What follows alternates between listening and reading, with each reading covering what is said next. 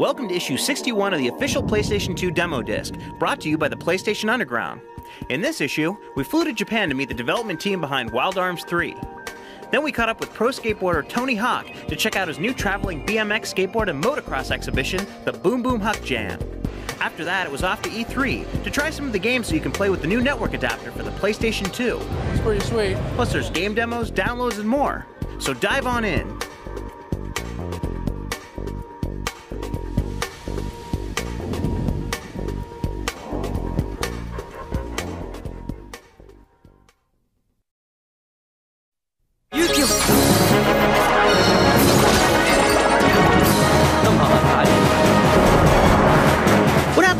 Final Fantasy style characters are thrust into the Disney universe. You get a new action RPG game called Kingdom Hearts. If you saw our story last month, you'll learn how these two heavyweights, Disney and Square, came together to seamlessly blend the two worlds. This month, we're going to dive deeper into the gameplay and explore this immersive new action RPG. In the beginning of the game, Sora starts his journey from his home, while at the same time, Donald and Goofy begin their journey. The three meet in Traverse Town and travel to different Disney worlds, including Aladdin, The Little Mermaid, and The Nightmare Before Christmas. Since each of the game's worlds are so different, we figured that everyone involved in the game had a favorite. My favorite is the Nightmare Before Christmas world. It has a more unique look than the others. The rest of the game is made using animation cells, but the Nightmare world is made from actual photographs. We achieved an interesting look with combinations of the 3D game world and real photos. I'm really pleased with the results. 白いですねあとピーターパン I think the Peter Pan and Aladdin worlds are very interesting especially the mothership fight in the Peter Pan world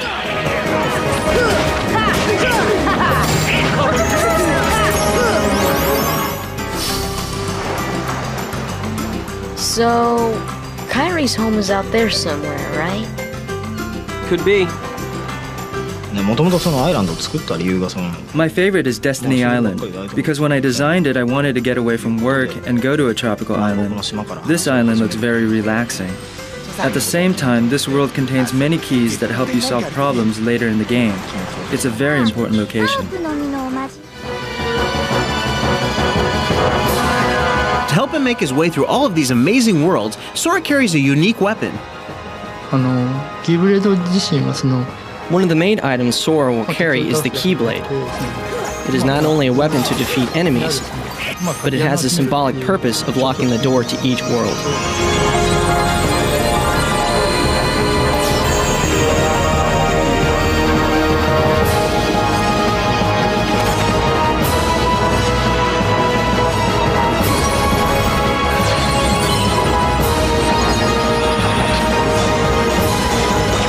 ブレードを付け替えてキーブレードが変化していくと The Keyblade's appearance and abilities change depending on what kind of chain is attached. These key chains alter Sora's attacking ability in different ways. For example, one of them will raise Sora's attacking ability, while at the same time drastically reducing his magic points. For those of you who are Final Fantasy fanatics, you won't be disappointed. Even though Kingdom Hearts is not a traditional RPG, gamers will definitely recognize several elements from the famed RPG series. Well, since the core staff of this game has worked on Final Fantasy games in the past, we thought it was about time we try something different. I like RPGs because they are the type of game that players get deeply involved in. Sometimes RPGs have a hard time including action elements into the game so we incorporated lots of action into Kingdom Hearts to the point where some may call it an action game. Like Final Fantasy, this game also has experience points. The difference is that you can earn experience points during battles, whereas you earn them after you finish each battle in Final Fantasy. For example, if you dodge an enemy's attack, you earn a point. As your character's experience points go up, your character becomes stronger. Since action is heavily incorporated into this game, a skilled action game player may move up to different stages without having a substantial amount of experience points normally needed to move up. Some characters from the Final Fantasy series that will appear are Tidus, Wakka, Selphie, Yuffie, Cid Mog, Squall, Cloud, and Eris.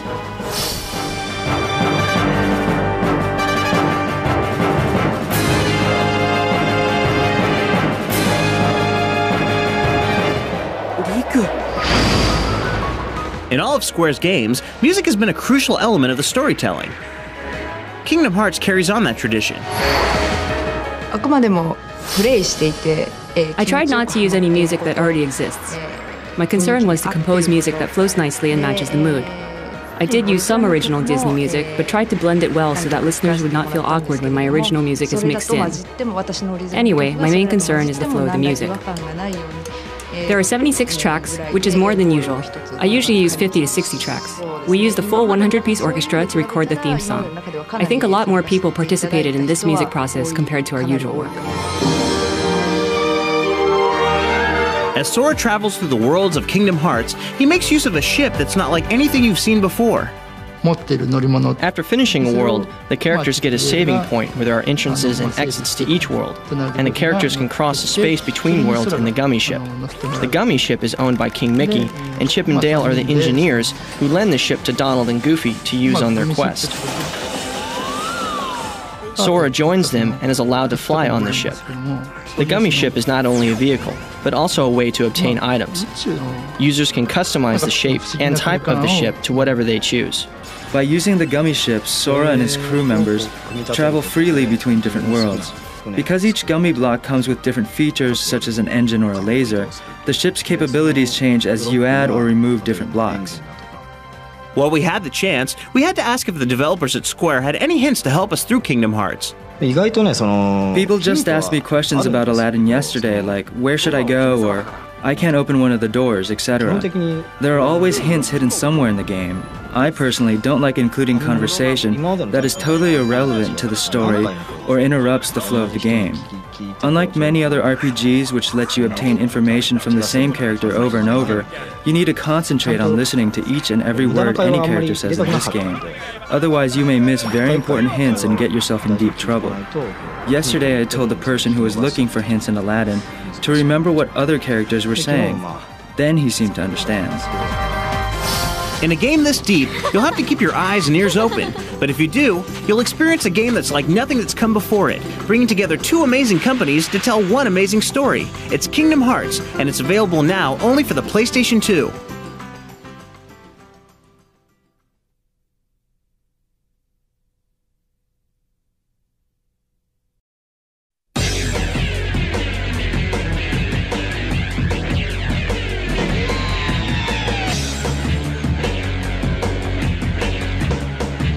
Year at E3, the highlight of the PlayStation booth was the competition arena. Those people who were lucky enough to be at the show got to check out two amazing online enabled games for the PlayStation 2. The first game was Madden Football 2003, which will make its exclusive online console debut for the PlayStation 2. Players at the show could strap on their shoulder pads and play Madden Online against Electronic Arts game testers in Florida. I had a great time and I have played other games and this one is definitely on top. It's just like playing. You got to uh, have the right body English. Basically, I went for the run at first, but it wasn't working, so I went through the air game. Heavy on the defense, so that's a key to winning usually. PA guys are pretty good. but Barely won. Uh, they, they held their own, but I took them out in the end. Ah, good job, man. You won yourself a brand new PlayStation hat. The other game at the competition arena was SOCOM US Navy SEALs. Players faced off in a 4 on 4 terrorist versus SEALs fight, but two members of each team were in Foster City, California, 500 miles away from E3. It's a tight ass game. Excellent, very realistic. You don't know where anybody is, and all of a sudden they pop out of nowhere, and your heart jumps, and you're, like, oh, shoot. Took out one guy, we ended up winning the round, so. Uh, we won. Yeah, I got a hat right here. Online play is going to totally change how you view your PlayStation 2. We asked the lucky players from E3 what they thought of the experience. Yeah, I would love to play online. I mean, it's the thing to have. Playing a computer, it's more predictable. This, you don't know what's going to happen because you're playing against a live person. You don't know what to expect. It's fun. It keeps it fresh. We're going to bring all gamers together to pretty much prove you're the best in the world. With PCs, online gaming has always had its share of glitches. We wondered if the players in the competition arena noticed any problems. No, it was pretty smooth. I, I liked it. I didn't get any hiccups. Really smooth, graphics were nice, and there was no lag at all. It was pretty sweet.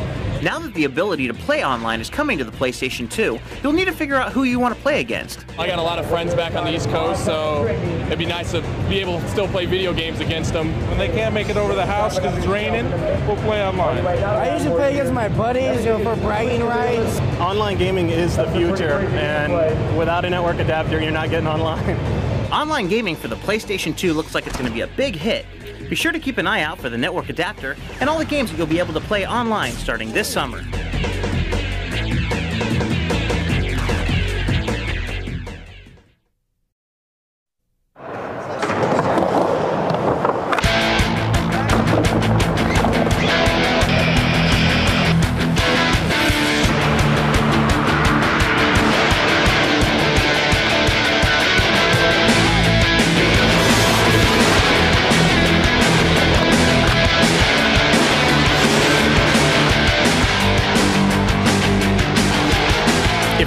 Skateboard down 14 foot ramps and busting huge tricks wasn't dangerous enough, try throwing in a BMX rider competing for the same space and a 500 pound motorcycle whizzing over your head. And you've got Tony Hawk's Boom Boom Huck Jam. The Boom Boom Huck Jam is basically a stunt show that includes music, motocross, skateboarding, BMX. I just felt like the crowds that we've been getting for exhibitions at skate parks and things that are more hardcore events has become overwhelming and the only way we can really accommodate the audience for what we do is to do it in an arena and build our own ramps and I drew all this up on a napkin one day and, and uh, here we are about a year later.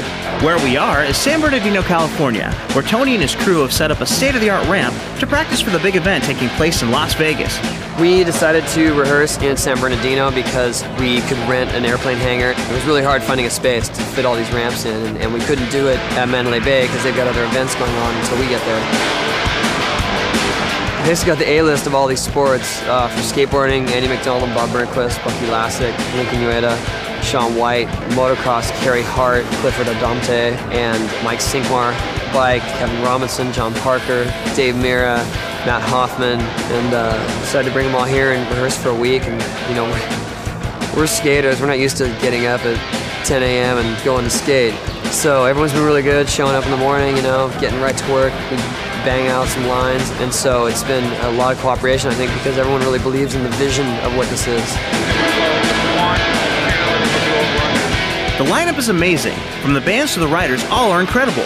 But the most unique star of the show has got to be the custom designed ramp that incorporates the sports of motocross, BMX, and skateboarding, as well as the musical stage. Yeah, the ramp's amazing. I've ridden a lot of half pipes over the last 20 years, but I can honestly say I've never ridden a half pipe quite this sweet. It's perfect, everything about it. You know, the trannies are big and fat, and the vert's perfect. It's huge, wide, like, yeah, you can't ask for much, much more, you know. Usually, if you go to a demo or something, there's bikes and skateboards on the ramp, and then there's motocross like off over to the side on the dirt jumps. And this time we decided to bring it all together. So we're gonna see what we can come up with where we're utilizing all three at the same time. The ramps are uh, 14 feet high. There's two 32 foot wide ramps. There's an 8 foot gap in between, and then the long jump is 30 feet from takeoff to landing. And then the roll in for the long jump is actually 30 feet high. So going down 30 feet and then jumping 30 feet. I think doing the roll in is, is half the battle there. that thing is, it's a lot more intimidating when it's up than it was when we drew it. Designing the best multi-use ramp ever was easy for skateboarding legend Tony Hawk, but making it portable was a little bit tricky. I designed the layout of it, and then we hired a staging company to actually figure out the best way to make it portable, you know, to make it interchangeable. And these ramps, when they go up, they go up in record time. And they're, they're perfect, you know, like all these guys come in here and just everyone's got a smile on their face and they start riding it because it's so solid. I think it's going to take a full day to put all this stuff up the first time. They are under the impression they can put up the entire half pipe section in about four hours, which is record time. You know, no one's ever done that in less than a day.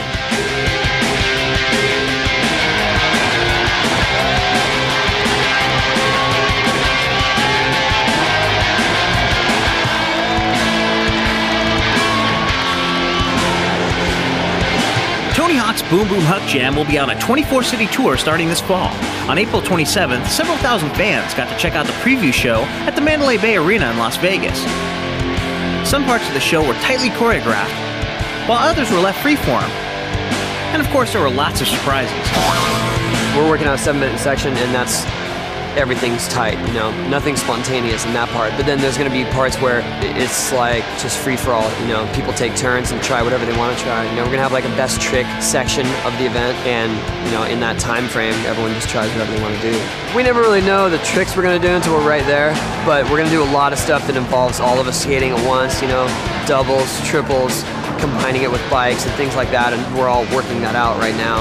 So you're going to see a lot of surprises, as in, you know, suddenly there's two people on the ramp and they're getting really close and they're going over and under each other.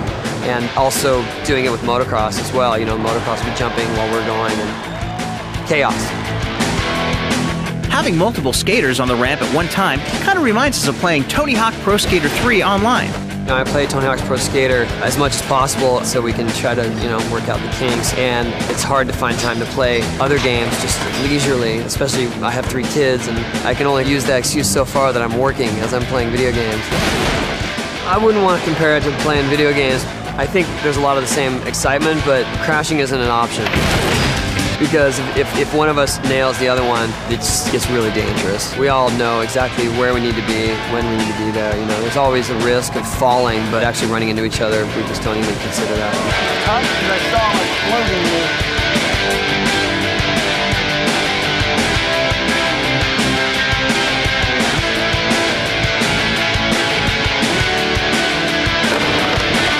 The grand finale of the Huck Jam has Matt Hoffman, the first guy to do a 900 on a BMX bike, and Tony Hawk, the first guy to do a 900 on a skateboard, attempting the trick together. Even though Tony and Dave didn't quite land the 900 this time, they'll have plenty more chances this fall. So look out for Tony Hawk's Boom Boom Huck Jam coming to a city near you. It's sure to be a heart-stopping event.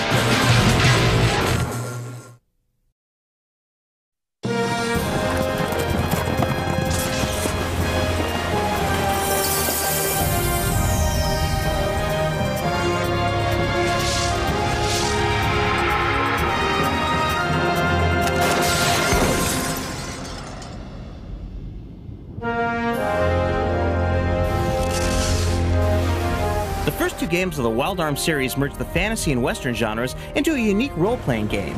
For the third installment, the developers at Mediavision create an entire western frontier world full of bandits and hired guns, as well as some more magical creatures, behind which looms a monumental mystery that only you can solve. えーここはファルガイアという架空の、まあ、惑星が舞台なんですけども The story takes place on a planet called Filgaia, which has been devastated for years. A long time ago, a civilization with advanced technology inhabited this planet, but now it's desolate and barren, with no trees or water.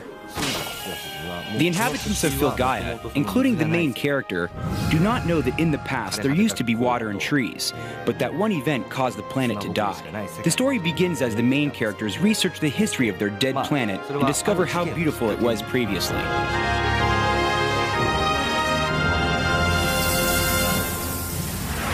As the main character tries to find out what caused the devastation of the planet, she encounters the other stars of the game.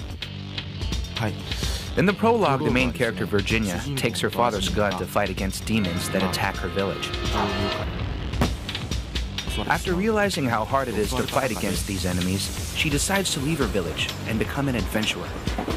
Although the game has only one main hero, the other three characters are almost as important as the main character, since they all have their own dramas. We wanted players to understand this and sympathize with each of them.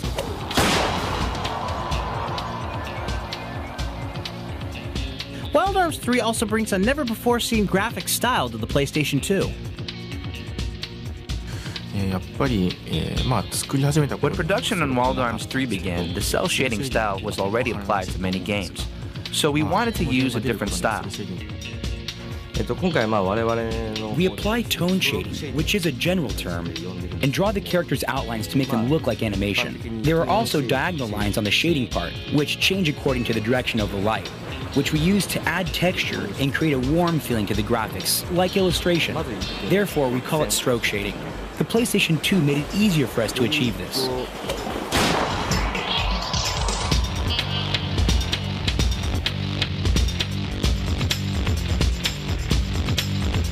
Not only is the look of the game different, but Wild Arms 3 also features a new combat system. The past two games use a typical RPG battle system in which you make moves, but the opponent does not move at all. It's simple and easy. In Wild Arms 3, the movement is different. Characters and enemies can take action simultaneously. Consequently, in battles, everyone is mixed up, and players can enjoy making complex movements.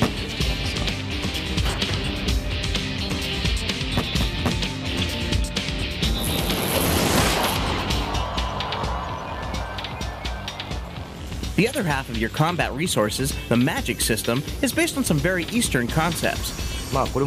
This may be a Japanese way of thinking, but there is a belief system that gods live in all the elements fire, water, wind, and soil. In Wild Arms 3, you can incarnate them, but you have to use a different stone slate depending on the god you want to summon and use in battle. Each of the four main characters have different abilities. For example, Gallows' attack level is high because he has a high magic ability. Usually in other games, if you use magic, you lose points. But in Wild Arms, you can use magic as many times as you want during the battle. They are not only for attack, but also to enhance protection ability, lower enemies' attack ability, and so forth. We want users to battle with creative magic combinations.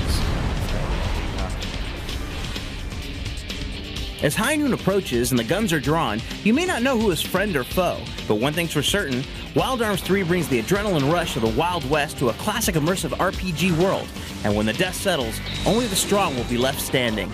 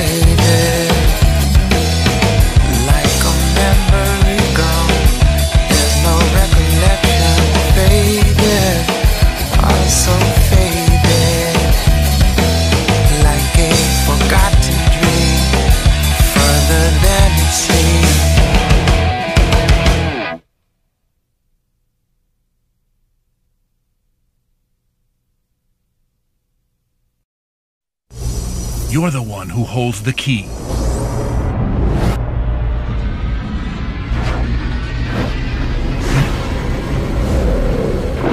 Travel beyond imagination, where new friendships are made, bright hopes and dark fates fuse together.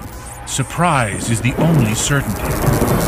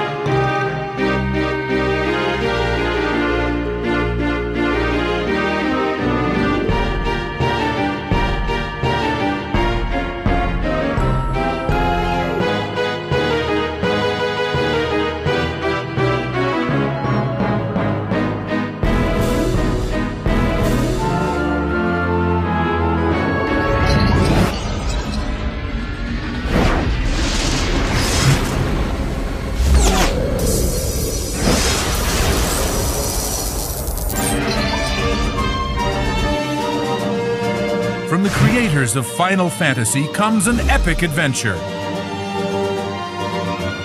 Follow the journey through multiple Disney worlds. Meet new and familiar Disney characters. Expect the unexpected. You will never know who you will run into next.